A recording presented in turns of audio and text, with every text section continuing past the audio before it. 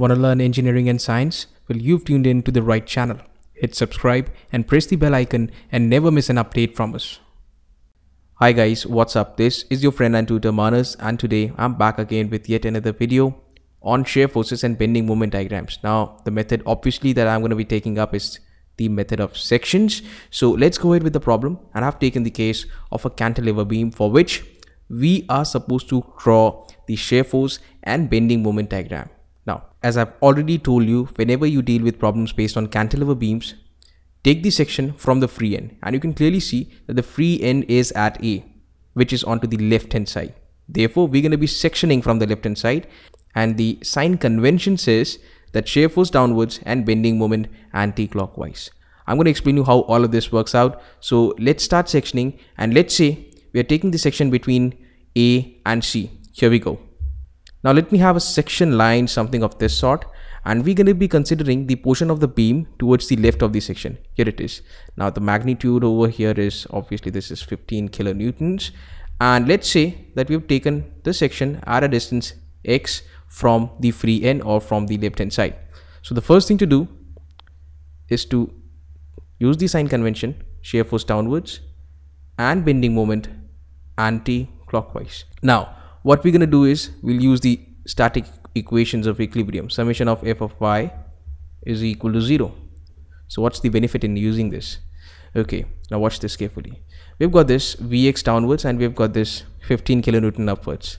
So downwards negative obviously and 15 kilonewtons upwards okay is equal to 0 so i can essentially write this as vx is equal to 15 kilonewton that means you can say between A and C, the shear force value is not dependent on X. It is independent of X. Or you can also say that the value of shear force between A and C shall remain constant, which is equal to 15 kilonewton. So at A, if you try to compress this X, here you're going to have the value of X as 0. At C, you're going to have the value of X as 1. At D, you'll have the value of X as 1.5. And similarly, if you go along, x is going to increase 1 point uh, this is going to be 2.0 2.0 and here finally at the fixed end we're going to have the value of x as 2.5 okay now what we're going to do is i'll take x is equal to 0 and i'll get the value of shear force at a which is going to be equal to 15 kilonewtons. If i put the value of x is equal to what? 1 i'm going to get the shear force value at c. Again let me tell you shear force does not depend on x okay but still i'm writing for x is equal to 0 shear force at a will be 15 newtons and again at x is equal to 1 that is at c. We're going to get the shear force as 15 kn. So that's it. Now the value of shear forces have been computed. Now we're going to go ahead and we'll try to find the bending moments at a and at c. Okay so for that i need to take moment about a specific point. So let's say we're taking moment about this point is equal to 0 okay so if you watch carefully we've got this anti-clockwise movement already along this cross section. So anti-clockwise has to be taken as positive. What else have we got? We've got this 15 multiplied by this x producing a clockwise movement at this point.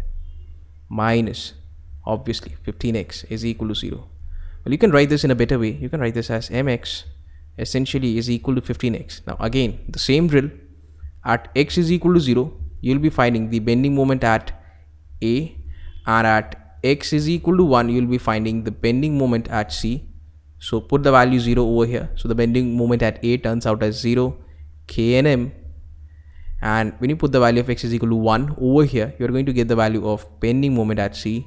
Again 15 knm that's it. Positive values both of them. So everything has been worked out between point a and c of the beam. Now let's go ahead and let's do the section between c and d okay here we go. Between C and D let me have the section line somewhere here. And let us consider the portion of the beam towards the left of this section. Okay so this over here is 15 kn again and this distance is x. So we have taken the section at a distance of x from the free end a. Okay now what about this distance? This is how much? This is one meter. Okay let me write this one meter. Anything else that we need to work with? Now everything has been worked out okay as far as this portion of the beam is concerned we have to deal with two different entities. One is this 15 kilonewton force acting at the free end. Other one is this what do you call a couple sort of acting at c with a magnitude of 10 knm kilonewton meter.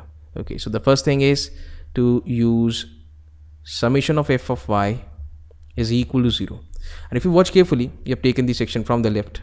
So obviously shear force is going to be downwards so this is going to be vx and there is going to be a bending moment also anti-clockwise. So shear force downwards negative vx um, 15 upwards and therefore positive. Anything else that we need to incorporate? Now done and dusted. So the value of shear force is again 15 kilonewtons you can see so we've got to do the same drill. X is equal to something. What? So we, we are talking about um, shear forces between c and d. That is at x is equal to 1 we'll be getting the shear force at c.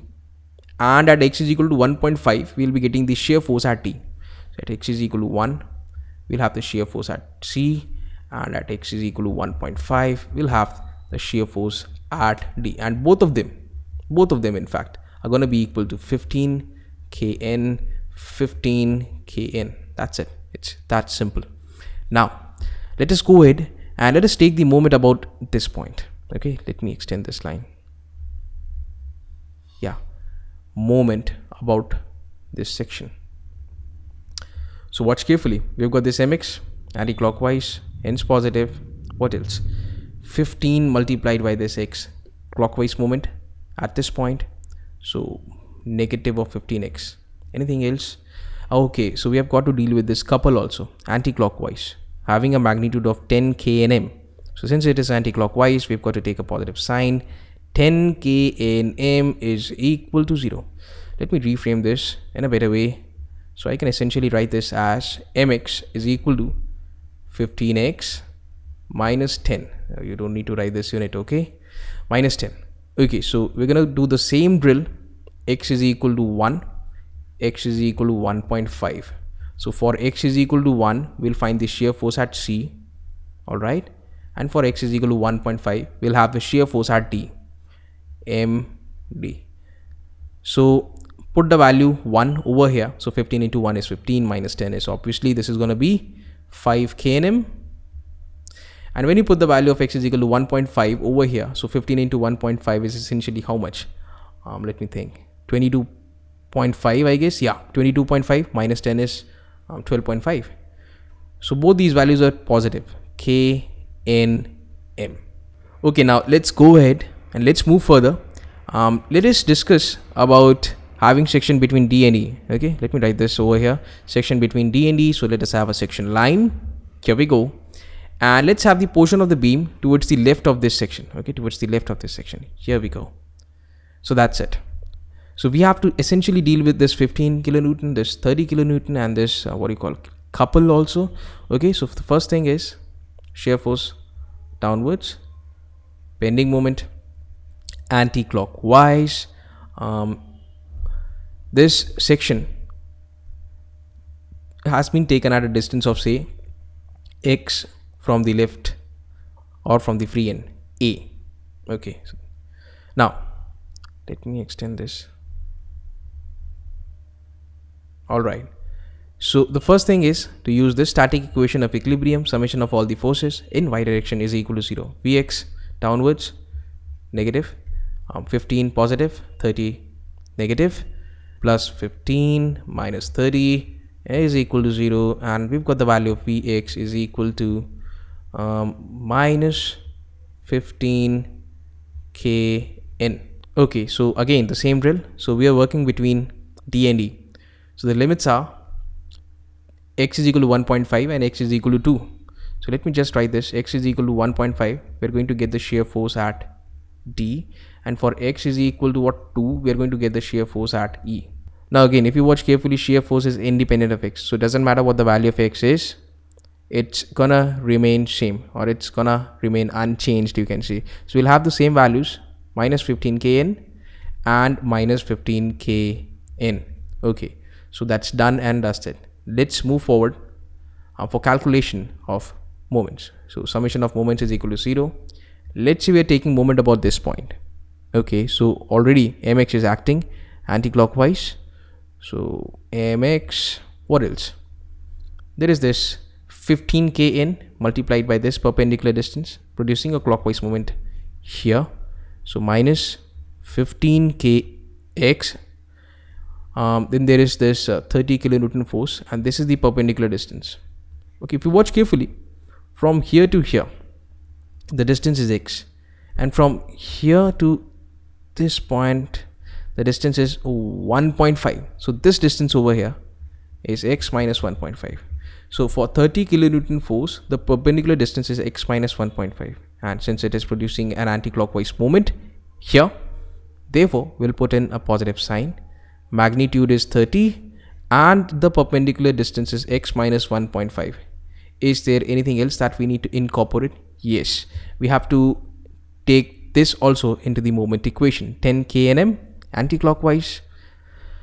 Okay therefore positive plus 10 is equal to 0 now let me frame this in a better way. I can write this as mx is equal to 15x minus 30 times of x minus 1.5 minus 10 and that's it. I have to put the value of x again the limits same limits between uh, 1.5 and 2 for x is equal to 1.5 we'll have the bending moment and d. I don't know what it is. And for x is equal to 2 meters we'll have the bending moment at this point. That's e. Okay? So when you put 1.5 over here you're going to get the value of uh, bending moment at d. And it works out as 12.5 knm okay kilonewton meters. And when you put x is equal to 2 we get the value of bending moment at e. And it works out as 5 knm so we are almost done. Closing in. And then finally we need to take section between e and b okay so let me just write it over here section between e and b and let me have the section line. And let me have the portion of the beam towards the left of the section. So that's it. Okay. First thing use this. Summation of f of y is equal to 0 but before that we'll have the shear force. And we'll have the bending moment. That's as per our sign convention. And let me take this distance as x. Okay fine. Vx downwards negative of vx. These two forces okay these are downwards again they, they're going to be also taken as negative and this 15 kilonewton upwards positive. So plus 15 minus 30 minus 20 um, am i left with anything else in terms of concentrated loads? No everything has been done is equal to 0 I can essentially write this as Vx is equal to minus 35 kilonewton. Again the same conclusion. Shear force between E and B is also independent of x. So it doesn't matter what the value of x is. So the value of x varies from 2 to 2.5 the shear force will remain unchanged and it will remain same as minus 35 kilonewton. So for x is equal to 2 or for x is equal to 2.5 it absolutely does not matter. Okay shear force remains same ve and this is going to be what vb both of them are going to have same values negative of 35 kn and here also negative of 35 kn okay now let me take this opportunity um, to calculate the bending moment values also. Okay done. We're going to take moment about this section is equal to 0 here to be very precise and again this mx is anti-clockwise. What else? 15 into x. Clockwise minus 15x then we've got this 30 kilonewton multiplied by this is going to be the perpendicular distance for this. How much is this? This is x and this much is 1.5 so this distance shall work out as x minus 1.5 so 30 multiplied by x minus 1.5 okay again anti-clockwise. So positive 30 times of x minus 1.5 so what else? We've got this 20 also. And for that this will be the perpendicular distance. So that's x between here and here. That's x. And this distance from here to here. This is 2 so x minus 2 that's x minus 2 okay so 20 multiplied by x minus 2 positive.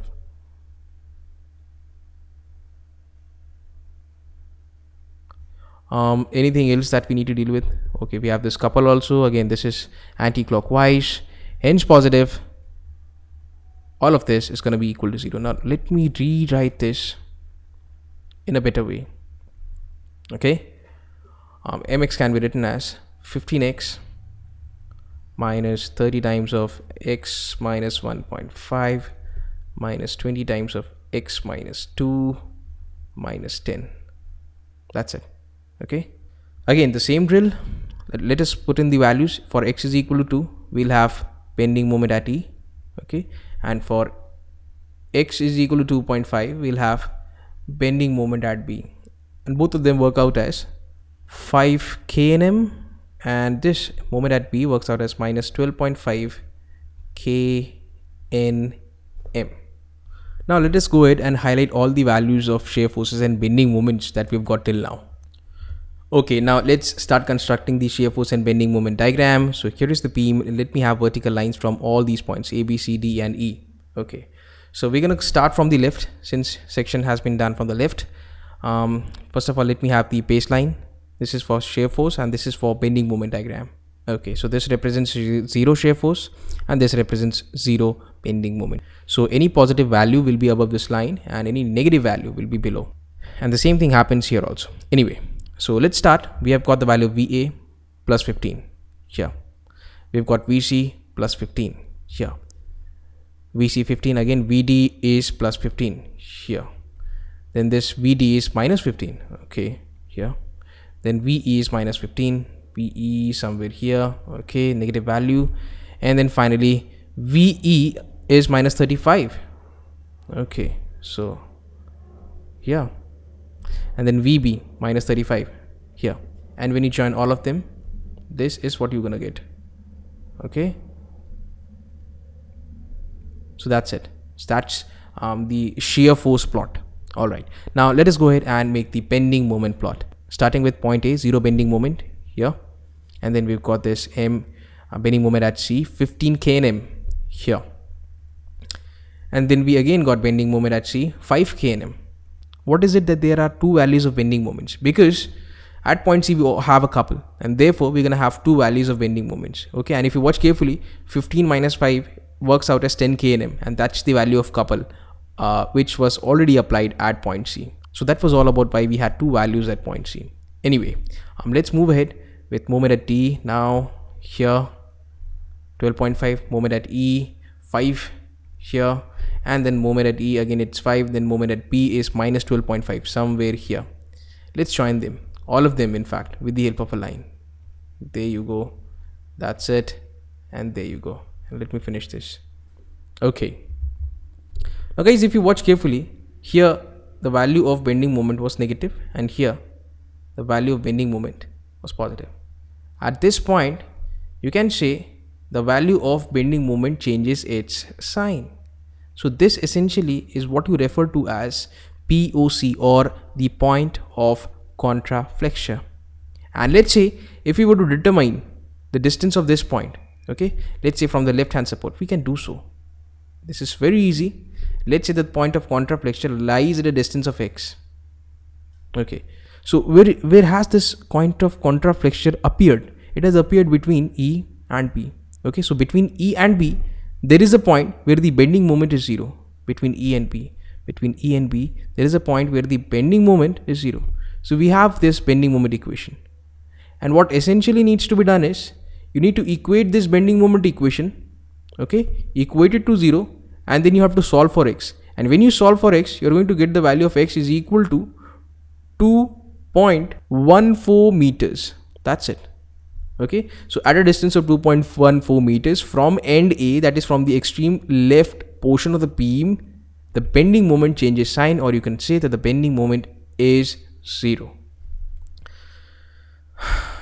So guys that was all from my side for today. If you've got any doubt or query write them down in the comment section below i'll be very happy to answer them and if you believe that this video tutorial has enhanced your knowledge of engineering mechanics then do share and like this video, subscribe to this channel and also press the bell icon so that whenever I upload a new video, you get a notification. Well, I'm going to be back with more such videos and I'm planning to make videos on moment of inertia and centroids after this lecture series on shear forces and bending moments. Until then, it's a wrap. This is Manas Patnaik signing off. Take care, have a great day and keep learning.